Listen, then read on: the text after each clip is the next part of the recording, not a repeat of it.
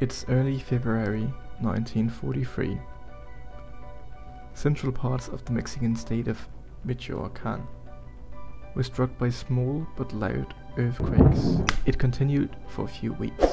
On the 20th of February, however, a farmer called Dionisio was going to sow his fields. Suddenly, an earthquake, exactly like the ones that had been in the days prior hit. But this time, it was accompanied by a potent sulphurous smell, like rotten eggs really. When Dionisio looked, his field was visibly bulged. The growing bulge had cracks venting out gases and spewing ash. Dionisio and the other farmers fled the field, fearing what was to happen. Upon returning the following morning, what was just a bulge the morning before had turned into a hill with a staggering height of 40 meters. This wasn't just a little gaseous bulge, this was the birth of a new mountain, a new volcano.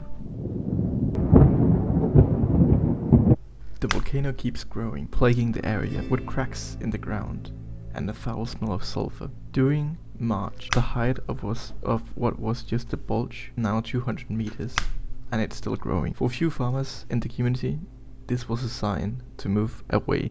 Many others were probably thinking of doing the same. The ones that stayed got plagued by flying volcanic debris and a lot of ash. You see that? That is not snow made.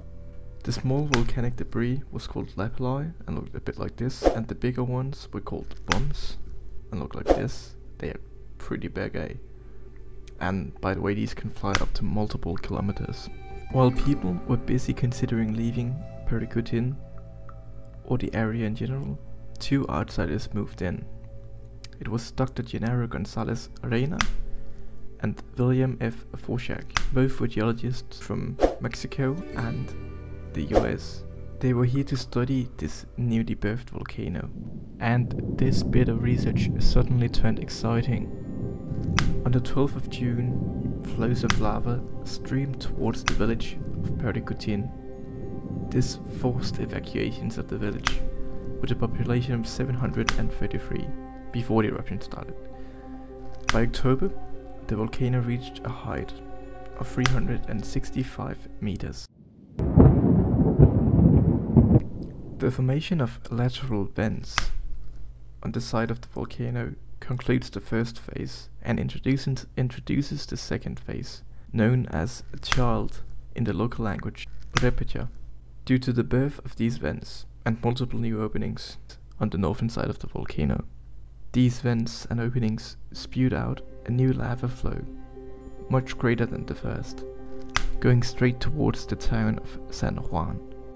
It became clear that San Juan should be evacuated because it would without a doubt meet the same fate as Paricutin. The miraculous evacuation of both San Juan and Paricutin went without lo any loss of life. And actually, it turns out the only loss of life were actually eruption triggered lightning strikes that hit three unfortunate jets. But it really is a miracle though, because I like to compare this to Vesuvius in ancient Italy, just because it buries these villages. Um, that was, well, that was another magnitude, I. But lasting just around a year, these first two phases were accountable for 90% of all ejected material. And yes, if you're wondering, that lava flow, while all the material is out, it's still flowing. San Juan continues to be buried, and is increasing activity in the center of the volcano. By August, the entire town of San Juan is buried. Only the ruins of the church peek up. It looks sort of post-apocalyptic. However, through the year, activity slows down, bringing us to with activity diminishing, the professional geologists Dr. G Genaro and William F. Fauché decides to leave, and incident reporting is left with the locals. While the activity was quite limited by now, the occasional spewed of ash or gases or a li little bit of lava sometimes still occurred. Sometime in late January 1952, the last activity of the volcano was recorded by Celedonio Gutierrez, who was responsible for keeping an eye on the volcano after the geologist left. Finalizing at 424 meters, which is a prominence of 208 meters, the volcano is at this point considered dead. While the story of Pericutín is highly interesting, a bit scary, and fantastic in many ways, to science, it was a breakthrough.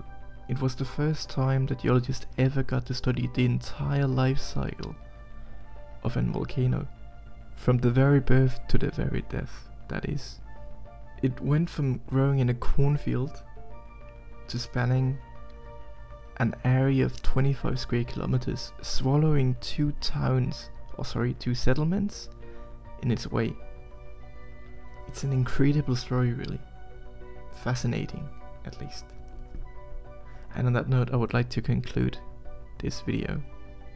I want to thank you guys for watching, and um, I would love some feedback. I'm quite new to all this video stuff. Um, but if you enjoyed the video, then please give it a consider giving it a like. And if you want to see anything like this, then please consider subscribing. That's all, folks.